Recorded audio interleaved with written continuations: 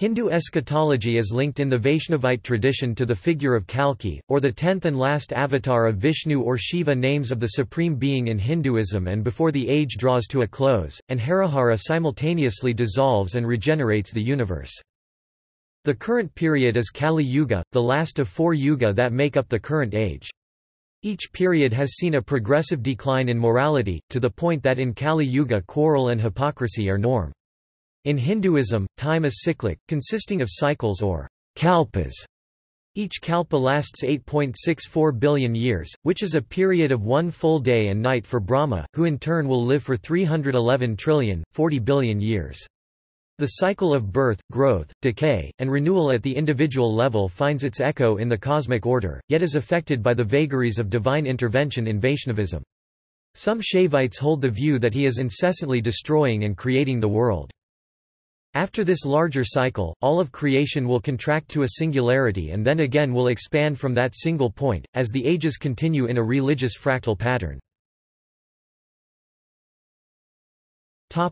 The four yugas Within the current kalpa, there are four yugas, or epochs, that encompass the evolution of this specific cycle. These ages encompass a beginning of complete purity to a descent into total decay. Satya Yuga lasts 1.728 million years. Treta Yuga lasts 1.296 million years. Dvapara Yuga lasts 864,000 years. Kali Yuga lasts 432,000 years. Kali Yuga Kali Yuga, the last of the four ages, is the one in which we currently reside. This epoch has been foretold to be characterized by impiety, violence, and decay. As written in the Vishnu Purana in 100 BCE, Social status depends not upon your accomplishments, but in the ownership of property. Wealth is now the source of virtue, passion and luxury are the sole bonds between spouses, falsity and lying are the conditions of success in life, sexuality is the sole source of human enjoyment, religion, a superficial and empty ritual, is confused with spirituality, the fourth age is ruled over by Kali, not the goddess Kali but the demon Kali.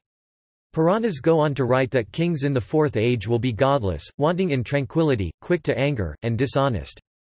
They will inflict death on women, and children, and will rise and fall to power quickly.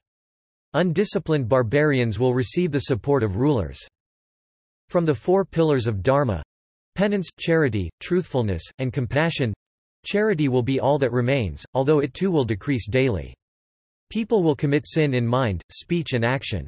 Plague, famine, pestilence and natural calamities will appear. People will not believe one another, falsehoods will win disputes and brothers will become avaricious. As the each age progresses, the human lifespan decreases, starting from thousands of years in the Krutha Yuga to 100 years in the current Kali Yuga, sannyasins will wear red. There will be many false religions, and many will profess false knowledge to earn their livelihood. Life will be short and miserable. Marriage will be for pleasure alone.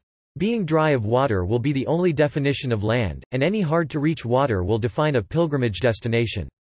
People will hide in valleys between mountains, and suffering from cold and exposure, people will wear clothes of tree bark and leaves. People will live less than 23 years and the pretense of greatness will be the proof of it. Ultimately, humankind will be destroyed. Kalki At this time of evil, the final incarnation of Vishnu known as Kalki will appear on a white horse. He will amass an army of those few pious souls remaining. These, together with all the incarnations of the Godhead avatars which have appeared throughout human history, will destroy all demons and sins in the world. As written in the Gita, Aditi is the mother of the eight Adityas or solar deities. At the end of creation these eight suns will shine together in the skies. Kalki will amass an army to establish righteousness upon the earth, and leave the minds of the people as pure as crystal. Those left, transformed by virtue, will be the new seeds for a higher form of humanity, and humanity will begin again. Puranas write, when the sun and moon, the lunar constellation Tishya, and the planet Jupiter are all in one mansion, the Krita age shall return to the earth. At the completion of Kali Yuga, the next epoch will begin, Satya Yuga, in which everyone will be righteous with the re-establishment of dharma and piety. This, in turn, will be followed cyclically by epochs of Treta Yuga, Dwapara Yuga and again another Kali Yuga.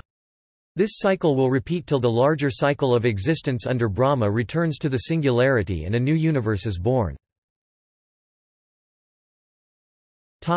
Brahma Kumaris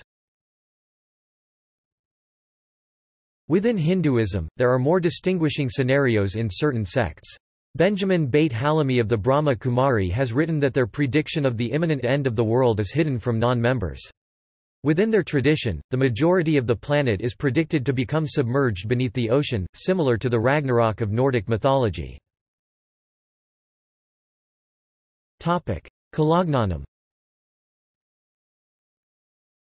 Sri Padaluri Virabrahmendra Swami, wrote 400 years ago in his Divya Maha Kala Nana, or Divine Knowledge of the Time, that Kalki would arrive when the Moon, Sun, Venus and Jupiter entered the same sign. This is not a rare occurrence and last happened in early 2012, passing without event. See also Metrics of time in Hinduism Kalki Kali End time. Eschatology. References. External links. Media related to Hindu eschatology at Wikimedia Commons